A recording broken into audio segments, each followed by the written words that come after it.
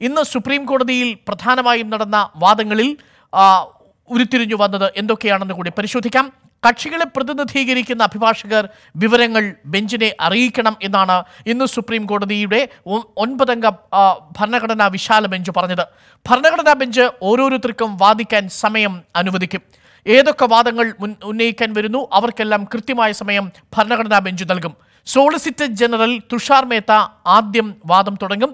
കേന്ദ്ര സർക്കാരിന്റെ ഈ വിഷയത്തിലുള്ള നിലപാട് സോളിസിറ്റർ ജനറൽ തുഷാർ മേത്ത വ്യക്തമാക്കും. എന്തുകൊണ്ട് യുവതീ പ്രവേശനത്തെ എതിർക്കുന്നുവെന്ന് ശബരിമലയുടെ പശ്ചാത്തലത്തിലുള്ള ചോദ്യം ഉന്നയിക്കാനുള്ള അവകാശം കെ പരാശരന് നൽകി എന്നതാണ് മറ്റൊരു പ്രധാനപ്പെട്ട ഇന്നത്തെ തീരുമാനം. കെ പരാശരനായിരിക്കും യുവതീ പ്രവേശനത്തെ എന്തുകൊണ്ട് എതിർക്കുന്നു എന്ന് സുപ്രീം കോടതിയിൽ വിശാലമായ ഭരണഘടനാ ബെഞ്ചിന് മുന്നിൽ വാദം ഉന്നയിക്കുക. നേരത്തെ പരാശരനൊക്കെ ഉന്നയിച്ചിരുന്ന പ്രധാനപ്പെട്ട കാര്യം ഭരണഘടനാ ബെഞ്ചിലേക്ക് വിഷയങ്ങൾ വരുന്നതിന് മുൻപ് വിശാല ബെഞ്ചിലേക്ക് വരുന്നതിന് മുൻപ് റിവ്യൂ ഹർജികൾ അതാത് ബെഞ്ചുകൾ തന്നെ കേൾക്കുന്ന ശീലമായിരുന്നു. അത് മാറ്റരുത് എന്നുള്ളതായിരുന്നു പ്രധാനപ്പെട്ട വാദം. എന്നാൽ ആ വാദം അംഗീകരിക്കുക തന്നെ ആ- വാദം ഫാലിയസ് നരിമാനാണ് മുന്നോട്ട് വെച്ചത്. പരാശരൻ വിശാല ബെഞ്ചിന് വിടണം എന്ന വാദമാണ് മുന്നോട്ട് വെച്ചത്. ആ വാദമാണ് ഇന്ന് അംഗീകരിക്കുകയും ചെയ്തത്. പരാശരൻ തന്നെയായിരിക്കും യുവതീ പ്രവേശനത്തെ എതിർക്കുന്നുവെന്ന് വിശദീകരിക്കാൻ വേണ്ടിയുള്ള ലീഡിംഗ് കൗൺസിൽ ഫെബ്രുവരി പതിനേഴ് മുതൽ കേസിൽ തുടർച്ചയായി വാദം കേൾക്കും. അന്തിമവിധി ശബരിമലയ്ക്ക് പുറമെ മുസ്ലിം സ്ത്രീകളുടെ പള്ളിപ്രവേശനം പാഴ്സി വനിതകളുടെ വിവാഹം എന്നിവയടക്കമുള്ള വിഷയങ്ങളിലായിരിക്കും. ശബരിമല വിഷയം മാത്രമല്ല മുസ്ലിം സ്ത്രീകളുടെ പള്ളിപ്രവേശനവും പാഴ്സി വനിതകളുടെ വിവാഹം തുടങ്ങിയ വിഷയങ്ങളിലും സുപ്രീം കോടതി വിശാലമായി വാദം കേൾക്കുകയും ചെയ്യും. ഇനി നമുക്ക് ശബരിമല പുനഃപരിശോധനാ ഹർജികളിൽ അഞ്ചംഗ ബെഞ്ച് വിശാല ബെഞ്ചിന് വിട്ട ആ ഏഴ് പ്രധാനപ്പെട്ട പരിഗണനാ വിഷയങ്ങൾ ഏതൊക്കെയാണ് എന്ന് നോക്കാം. ഈ ഏഴ് പ്രധാനപ്പെട്ട പരിഗണനാ വിഷയങ്ങൾ ഒൻപതംഗ സുപ്രീം കോടതി ഭരണഘടനാ ബെഞ്ച് പുനഃക്രമീകരിച്ചു. ഭരണഘടനാ പ്രകാരം മതസ്വാതന്ത്ര്യത്തിന്റെ വ്യാപ്തിയും പരിധിയും അത് എത്രയാണ് ആർട്ടിക്കിൾ ഇരുപത്തിയഞ്ചിന്റെയും ആർട്ടിക്കിൾ ഇരുപത്തിയാറിന്റെയും അനുച്ഛേദം ഇരുപത്തിയഞ്ചും ഇരുപത്തിയാറിന്റെയും അടിസ്ഥാനത്തിലാണ് മതസ്വാതന്ത്ര്യത്തിന്റെ വ്യാപ്തിയും പരിധിയും നിശ്ചയിക്കാൻ വേണ്ടി ക്രമീകരിക്കുന്നത്. രണ്ടാമത്തെ പ്രധാനപ്പെട്ട ആ, വിശാല ബെഞ്ച് കേൾക്കാൻ പോകുന്ന വാദം വിശ്വാസാവകാശങ്ങളും പ്രത്യേക വിശ്വാസ സമൂഹങ്ങളുടെ അവകാശവും തമ്മിലുള്ള പ്രവർത്തനം. ഏതൊക്കെയാണ് മതപരമായ അവകാശം? ആ മതപരമായ അവകാശം കൈകാര്യം ചെയ്യുന്നതിൽ ഏതൊക്കെ മതപരമായ സമൂഹങ്ങൾക്ക് പ്രത്യേകിച്ച് വിശ്വാസ സമൂഹങ്ങൾക്ക് പ്രത്യേക അവകാശങ്ങളുണ്ട്? ഇതായിരിക്കും രണ്ടാമത് പ്രധാനമായിട്ടും വാദം കേൾക്കുക. നമ്പർ ത്രീ മതത്തിലെ പ്രത്യേക വിശ്വാസ സമൂഹങ്ങൾ അവകാശങ്ങൾ ധാർമ്മികതയടക്കം വിഭാവനം ചെയ്യുന്ന ഭരണഘടനയുടെ പാർട്ട് മൂന്നിന് വിധേയമാണോ എന്നുള്ളതാണ് പ്രധാനപ്പെട്ട അടുത്ത ചോദ്യം. പ്രത്യേക വിശ്വാസ സമൂഹങ്ങളുടെ അവകാശങ്ങൾ ഭരണഘടനയുടെ പാർട്ട് മൂന്നിൽ ഫണ്ടമെന്റൽ റൈറ്റ്സ് അഥവാ മൗലികാവകാശങ്ങൾക്ക് വിധേയമായി മാത്രം കൈകാര്യം ചെയ്യേണ്ടവയാണോ എന്നതാണ് ഏറ്റവും പ്രധാനപ്പെട്ടത്. നമ്പർ ഫോർ അനുച്ഛേദം ഇരുപത്തിയഞ്ചിലും ഇരുപത്തിയാറിലും പറയുന്ന ഭരണ ധാർമ്മികതയ്ക്ക് കോൺസ്റ്റിറ്റ്യൂഷണൽ മൊറാലിറ്റി എന്ന നിർവചനമാണ് ഒത്തുചേരുക. പബ്ലിക് മൊറാലിറ്റി എന്നുള്ള വാക്കുകൾ സബ്ജക്ട് മൊറാലിറ്റി എന്നുള്ള റീസണബിൾ റെസ്ട്രിക്ഷന്റെ പരിധിയിൽ ധാർമ്മികതയുടെ നിർവചനം ഭരണഘടനാ ധാർമ്മികത എന്നാണോ എന്നതാണ്. ആർട്ടിക്കിൾ ഇരുപത്തിയഞ്ചും ഇരുപത്തിയാറിന്റെയും ഭാഗമായി സുപ്രീം കോടതിയിൽ വരുന്ന പ്രധാനപ്പെട്ട അടുത്ത ചോദ്യം.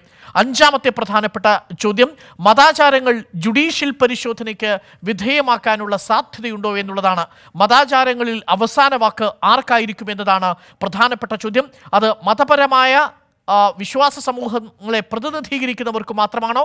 അതല്ല ഭരണഘടനയ്ക്കും ഒരു സെക്യുലർ സ്റ്റേറ്റിനുണ്ടോ എന്നുള്ളതാണ് അടുത്ത ചോദ്യം. ചോദ്യം നമ്പർ ആറ്.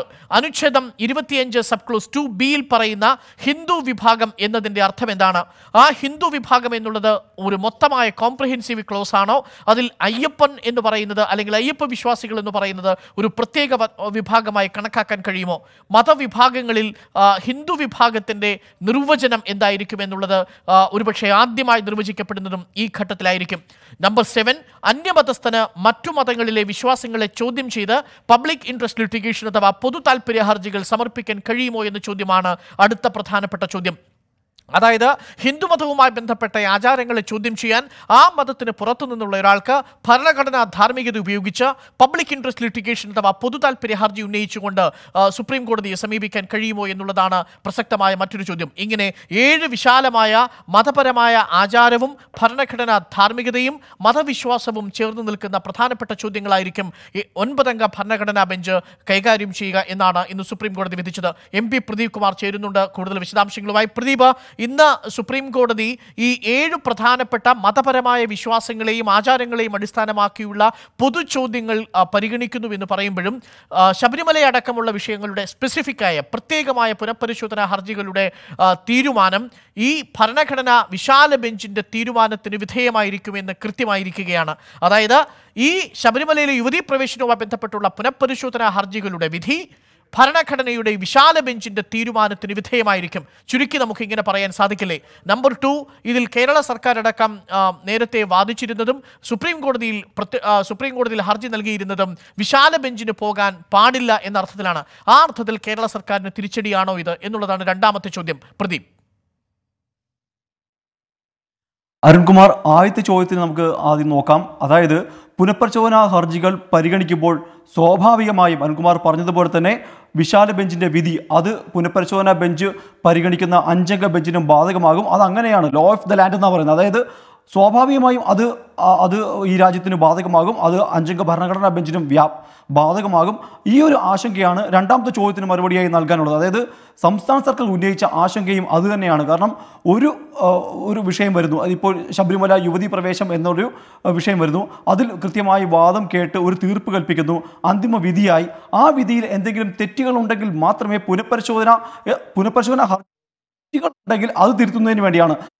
വീണ്ടും നേരത്തെ വാദമുഖങ്ങൾ കേട്ട് വളരെ കൃത്യമായി തീർപ്പാക്കിയ ഒരു ഒരു കാര്യങ്ങളിൽ വീണ്ടും വാദം കേൾക്കുക വീണ്ടും വിശാല ബെഞ്ച് അത് പരിഗണിക്കുക എന്ന് പറയുമ്പോൾ അത് ഒരു കാരണത്താലും അംഗീകരിക്കാൻ സാധിക്കുകയില്ല എന്നൊരു നിലപാടാണ് സംസ്ഥാന സർക്കാരിന്റെ ഭാഗത്തു നിന്നുണ്ടായത് കാരണം അത് തെറ്റായ കീഴ്വഴക്കം സൃഷ്ടിക്കും. പുനഃപരിശോധനാ ഹർജികൾ പരിഗണിക്കുമ്പോൾ നേരത്തെ വാദം കേട്ട് തീർപ്പ് കൽപ്പിച്ച കേസുകളിൽ വീണ്ടും അതേ വിഷയങ്ങൾ പരിഗണിക്കുകയും വീണ്ടും അതിൽ തീർപ്പ് ഒരു വിശാല ബെഞ്ച് പരിഗണിക്കുകയും ചെയ്യുമ്പോൾ സ്വാഭാവികമായും അതിന്റെ ഒരു പ്രതിഫലനവും അതിന്റെ ഒരു പ്രത്യാഘാതവും ഉറപ്പായും ഈ ഒരു പുനഃപരിശോധനാ ഹർജികൾ ഉണ്ടാകുമെന്നുള്ളത് വസ്തുതയാണ്. എന്തായാലും ഈ ഒരു കാര്യം തന്നെയാണ് സംസ്ഥാന സർക്കാർ പ്രധാനമായും സംസ്ഥാന സർക്കാരിന് വേണ്ടി ഹാജരായ മുതിർന്ന അഭിഭാഷകൻ ജയ്ദീപ് ഗുപ്ത ചൂണ്ടിക്കാണിച്ചത്.